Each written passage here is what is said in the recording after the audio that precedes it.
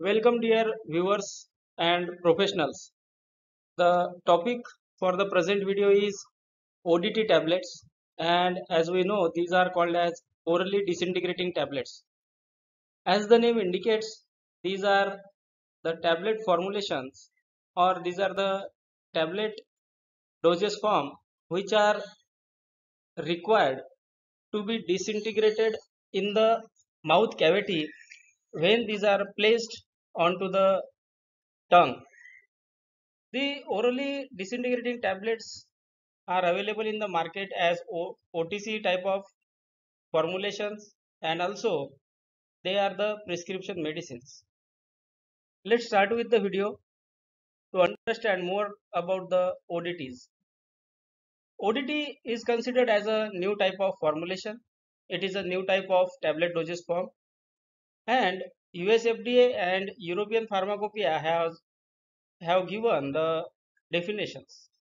So as per US FDA, the ODT tablet can be defined as a solid dosage form containing medicinal substances which disintegrates rapidly and usually within a matter of seconds when it is placed onto the tongue. So here as per the US FDA, the disintegration is rapid and it is included in the definition.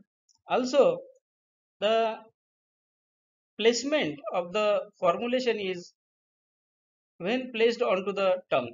So this terminology is described. Now as per the european pharmacopoeia the odt is uncoated tablet which are placed in the mouth cavity and quickly disintegrate before swallowing. So these ODTs are the formulation that is tablet formulation which disintegrate in the mouth cavity before swallowing. So the ODT are not required to be swallowed. These are required to be placed onto the tongue and these are allowed to get disintegrated there. These are different than the normal tablets which are swallowed and the tablets which are chewed before swallowing means the chewable tablets. So ODT are not the chewable tablet and also ODT are not the normal tablets which are required to be swallowed with water. So for ODT water is not required. The examples of ODT formulations are many. Some of the formulations I have enlisted here. The ODT formulation contain loratadine or clonazepam, then rizatriptan, escitalopram, citalopram, asenapine. These APIs belong to different categories. Some are antipsychotic, some are antihistaminic or anti-allergic, some are antidepressant. So many type of the disease conditions can be treated with the ODT type of formulation. Then coming to the ODT composition. So mainly mannitol is used as a diluent. Along with mannitol, some co-process excipients can also be utilized. Lactose can be taken as a diluent. Then MCC that is known as microcrystalline cellulose can be used as a diluent. It is also used as a disintegrant. Then crospovidone as super, super disintegrant. Other disintegrant can also be used. Then small size pellets can be formulated in the ODT type of formulation and those are the MUPS type of formulation. That is the pellets are compressed into tablet.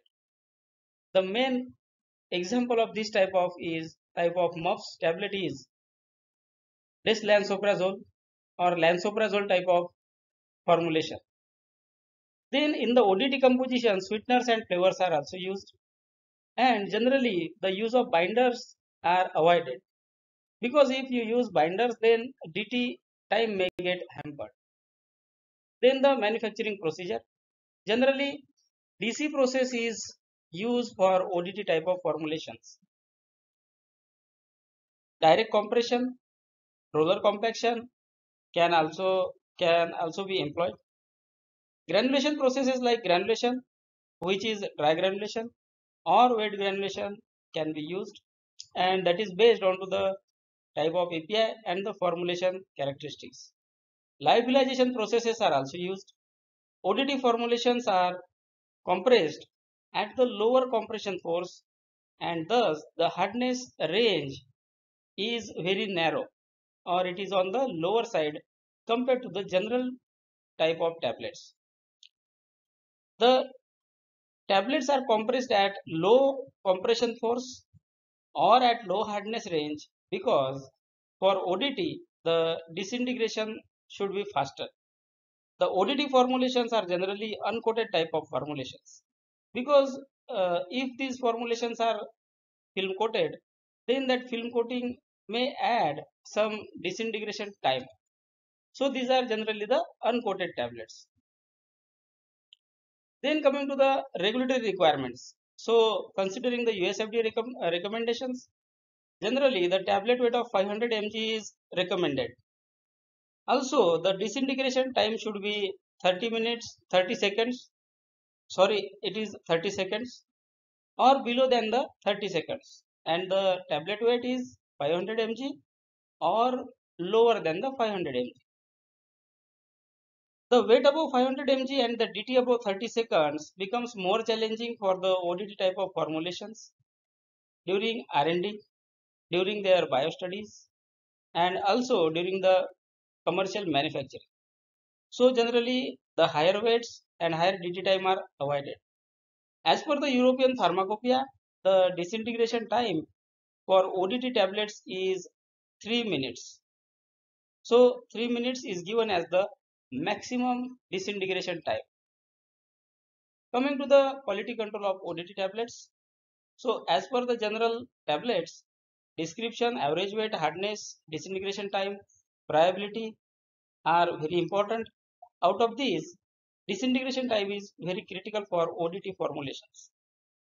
Assay dissolution, impurities and other characteristics are very important for ODT formulations. Then coming to the challenges for ODT type of formulation. Mainly the taste and mouthfeel is the challenge because these tablets are required to be disintegrated when placed on the tongue within some seconds. Then is the mouthfeel. The mouthfeel should be good so that it will improve the patient compliance. Then dose of the API, solubility of the API, compressibility of the API, stability of the API and the compatibility of the API or drug substance with the excipient is very critical. If dose is higher, then it will lead to higher weight of the ODT tablet. If solubility is the challenge, that time the API, if it is getting solubilized in the saliva, it may give to some bitter taste or if it is insoluble then its particles will feel gritty in the mouth. So there is a very challenging type of task whenever you are going for the ODT type of formulation. Then if the API required to be formulated into some modified type of formulation that time ODT is not the formulation of choice Coming to the advantages, the advantages are many for the ODT and also the advantages you can consider as consider it as requirements. So when there is no need of water to be taken for the administration that time you can go for ODT type of formulation. So advantage is no need of water for administration as the tablet disintegrate as it comes in the contact with saliva after placing on the tongue. Useful for the geriatric or old age patients and psychiatric patients. So to improve their compliance and to improve the therapeutic outcome of the treatment, the ODT can be a advantageous formulation. For the patients who have difficulty in swallowing, for those, ODT will give you higher patient compliance. ODTs are available as OTC as well as prescription product. So over the counter type of formulations are also there. You can go at the medical shop and you can directly purchase those type of formulation without any prescription. ODT have small tablet size and weight and faster disintegration time. Generally the disintegration time of ODT is 30 seconds. ODT have fast action and rapid absorption. Sometimes the ODT formulation can give you the better bioavailability. Formulations with good mouthfeel and the taste can be made. Safe as there is no chance of choking by the oral administration because the tablets doesn't remain impact, intact and it get disintegrated within the seconds. Then coming to the disadvantages. So main disadvantages is cost of manufacturing and the packaging. Then hardness is the another challenge. Less hardness and physical strength thus challenge in the manufacturing, handling and packaging. Sometimes whenever you take out the ODT tablet from the package, there are chances of breaking of that tablet and that is attributed to less hardness. Limitation of weight so that the high dose APIs cannot be formulated in ODTs. If the dose is above 500 mg or 600 mg, that time it will become very very difficult to formulate those APIs into ODT type of formulation. Immediate release is the key design for ODT, but some delayed release type of formulations can be made and fabricated or designed into ODT type of tablets. API dose solubility and tablet weight are the constraints. If uh, solubility is not there and if you want to improve the solubility, that time whatever the technology is used, that technology will lead to increase in the tablet weight which will be a major disadvantage. So this is regarding the ODT tablets. Sometimes the interviewers ask about the ODT tablets also, interviewers ask about the biostudies for ODT type of formulations. And mainly the question is asked like whether the ODT can be taken with water or without water.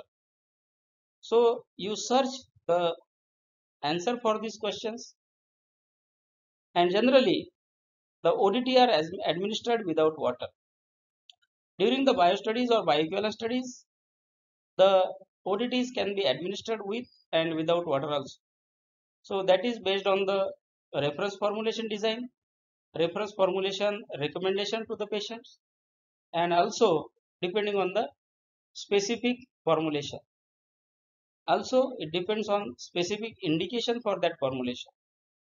So this is regarding the generalized information for orally disintegrating tablets. I hope I have covered um, the general information and I am sure that the viewers will get benefited out of this video. I request you to like, share and subscribe to this channel. Press the bell icon so that whenever I am posting the new videos, you will get notified. Thank you for watching the video.